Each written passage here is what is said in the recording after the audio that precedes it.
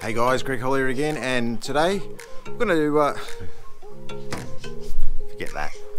Hey guys, Greg Hollier, and this is episode two of our DIY caravan build. So today we're going to have a look at, uh, as you can see, the windows have gone in. Haven't had a chance to uh, make any videos while doing it, sorry, but uh, let's cue the intro and go and show you what we've done. Cheers. Take me away right from the start.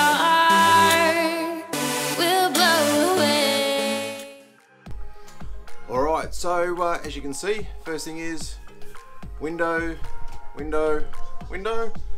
Got uh, those three windows in. Plus we've also done the windows here over our settee and over our kitchen. Um, so we've used the Aussie Traveller Eurovision windows um, with obviously the, we've gone for the screens from the top, pull up from the bottom, block out. Um, the other thing that we have done is our ensuite. So we've gone for a Thetford uh, waterproof toilet, so toilet shower combo. Um, and then we're going to put the shower head and everything in here as well. So to make this waterproof, which is a number of friends and people have said you're not going to make that waterproof, what we've actually done is I have put epoxy resin with tape all the way around the edges. You just got to do it at the top there um, to make it 100% waterproof, obviously without drain. We've, I'll put a shower tray in, so I'll put a standard 900 um, by 1.2 meter shower tray in, which I trimmed down. So to make it trim down, um, it was quite wasn't too hard. And probably should have got this beforehand, so I was a little bit more organised. But if we have a look here, hmm, sorry about all that wobbling around. Um, that is the remaining shower tray. Measured it up, cut it with a circular saw, and um, it just cut beautifully. And then um, that just went in.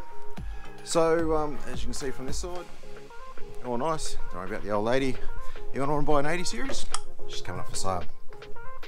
Um, so all the overhead cupboards here are done now. The gas fitter um, is booked. We're just getting the hot water system put in, um, which will go at the front under this um, front bunk here. So the Thetford, uh, no, what have I got? Suburban hot water system going in there.